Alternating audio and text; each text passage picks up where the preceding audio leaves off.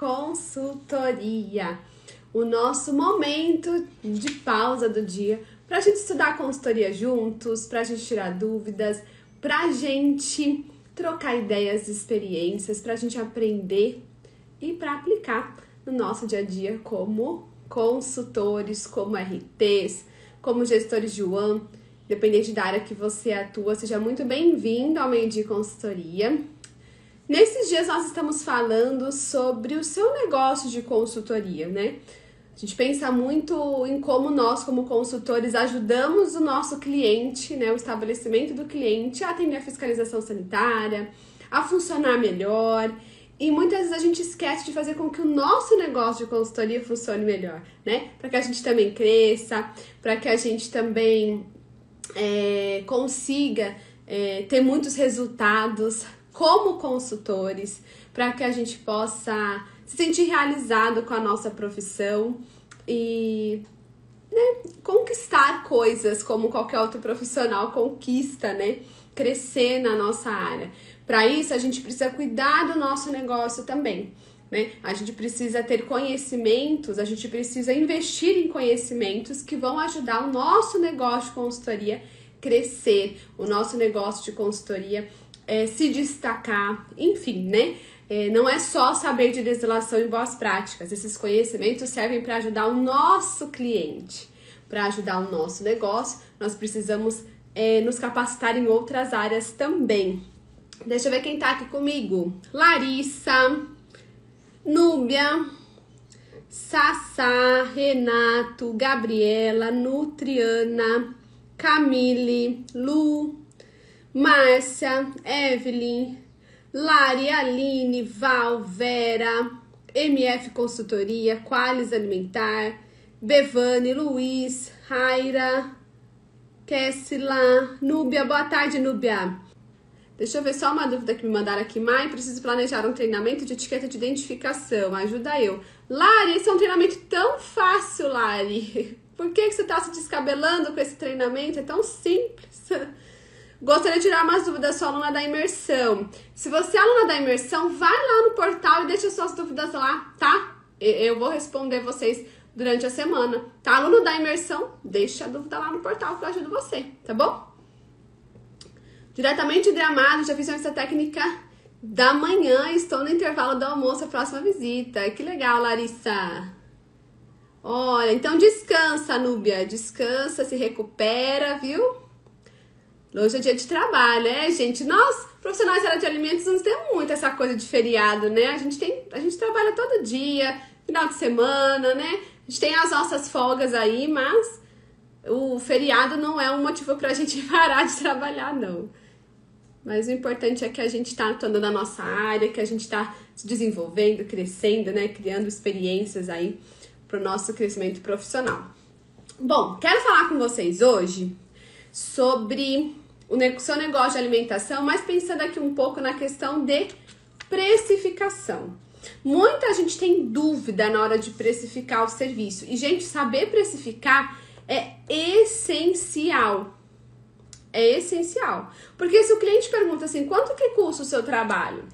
Quanto você cobraria para fazer essa adequação no meu estabelecimento? Você tem que saber é, calcular isso. Não é qualquer valor, não é de qualquer jeito que a gente precifica o nosso trabalho. Existem pilares que é, nos ajudam a chegar numa precificação justa para nós e para o nosso cliente. Né? Justa no sentido de que a gente não trabalha, é, não pague para trabalhar, né? E também não esteja cobrando um valor muito fora do que o mercado cobra, do que o nosso conselho ou sindicato é, exige. Então, saber precificar é essencial para você conseguir fechar contratos, né? Imagina que você vai numa loja e você pergunta o preço de uma roupa e a vendedora não sabe te falar o preço, né? Tudo que é vendido é, tem um valor, né? E o seu trabalho é vendido, né? O trabalho de qualquer prestador de serviço, de um advogado, de um arquiteto, de um engenheiro, né? Que são prestadores de serviço assim como nós, é, existe um valor a ser cobrado pela hora deles, pelo contrato que ele vai elaborar para você, pelo processo que ele vai montar para você, pelo projeto da sua casa que ele vai montar, tudo isso tem um valor. E o seu trabalho de consultoria também tem um valor, né? Só que como que a gente chega nesse valor é, do nosso serviço? Como que a gente consegue é, mostrar para o cliente, né? Tanto valores individuais ou valores de pacotes, né? Porque são formas diferentes de você oferecer o seu serviço. O seu cliente pode te contratar para um serviço específico, por exemplo, um treinamento ou fichas técnicas, é, ou redução de desperdício, são serviços que são específicos, eu vou lá para fazer esse serviço. Mas também ele pode contratar para fazer um pacote de serviços. Implantação de boas práticas, por exemplo, é um pacote de serviços, onde a gente faz adequação, onde a gente traz treinamento, onde a gente elabora manual e POPs, né? Então, na hora de eu apresentar esse, esse valor para o meu cliente do meu trabalho, num processo de implantação de boas práticas, eu posso apresentar o valor do pacote inteiro para ele. Então, tudo depende do que o meu cliente está contratando. E quando a gente pensa em precificação, existem três pontos que a gente tem que levar em consideração na hora de fazer esse cálculo, né? Que é o valor base do serviço, os custos que você vai ter para realizar esse serviço e a margem de lucro que você deseja ter sobre esse serviço. Né? Então, esses três pontos têm que ser levados em consideração para que você chegue num valor em que você consiga negociar se for necessário, em que você é, tenha os custos que você vai ter para a realização do trabalho sendo pagos, que isso não saia do seu bolso, e que você seja pago pelo serviço que você vai realizar. Né? Então, tudo isso tem que ser calculado na hora de você precificar. E além de saber precificar, a gente também precisa saber colocar essas informações na proposta, porque antes do contrato vem o que? A gente falou disso ontem, vem a proposta. O que, que é a proposta? A proposta é uma sugestão do processo. Então, o seu cliente, na hora da abordagem, se interessou, por exemplo, por manual, por, pela implantação das boas práticas e por ficha técnica. Então, você vai montar a proposta sobre esses dois serviços que ele tem interesse. Nessa proposta você vai colocar é, mais informações, não é só valor. E você vai então colocar ali o valor calculado então a partir desses três pilares que eu acabei de mencionar e formas de pagamento que você entende que são interessantes para ele, né? Se vai ter entrada, se vai ser parcelado, enfim. É, você pode sugerir formas de pagamento para ele que sejam interessantes para você, para que ele possa escolher o que é interessante para ele também. E a partir da discussão dessa proposta, a gente vai então para o contrato. Então também é preciso saber colocar essas informações de valores na proposta. Então, é, são conhecimentos, gente, que a gente tem que ter para desenrolar o nosso negócio, nosso, nossa contratação ali junto com o cliente. E onde que a gente aprende a fazer isso? Né? É a prática que vai nos ensinando, no meu caso, né, que foi me ensinando a fazer isso, a entender como fazer isso. E a gente não aprende muitas vezes isso em faculdade, a gente não aprende isso em, é, é, né, durante a nossa graduação, em pós-graduações. Muitas vezes isso não nos é ensinado, até porque é muito difícil uma graduação ensinar a empreender né? É, hoje, talvez, as, as formações mais recentes estão tendo aulas sobre isso, empreendedorismo, mas quando eu me formei, isso não era nem é, uma, uma sugestão, né? Era assim, ah, se, é, se forma para você arrumar um emprego e você conseguir uma vaga no mercado de trabalho. A gente não aprendia, não, não tinha essa mentalidade de empreender, né? quando sair da faculdade. E a consultoria é uma forma de empreender. Você é dono do seu negócio, você é dono dos seus horários, da sua agenda. Os clientes são seus, não são clientes de alguém que você está atendendo. Então, é, empreender é, exige de nós conhecimentos é, de outras áreas. Não dá para empreender só sabendo legislação e boas práticas.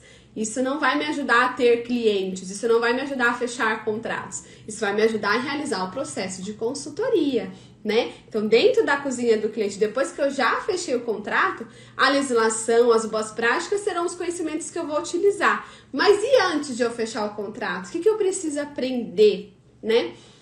Os, os erros e acertos que a gente vai cometendo na vida nos ensina a fazer da maneira certa, né? Nos mostra os melhores caminhos.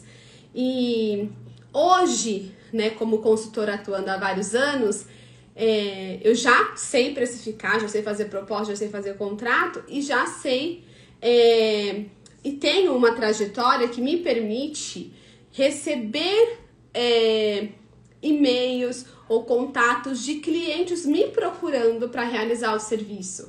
Então hoje, depois de anos atuando, é, eu já tenho né, esse esse nome conhecido aqui na minha região, eu já sou uma consultora que as pessoas procuram.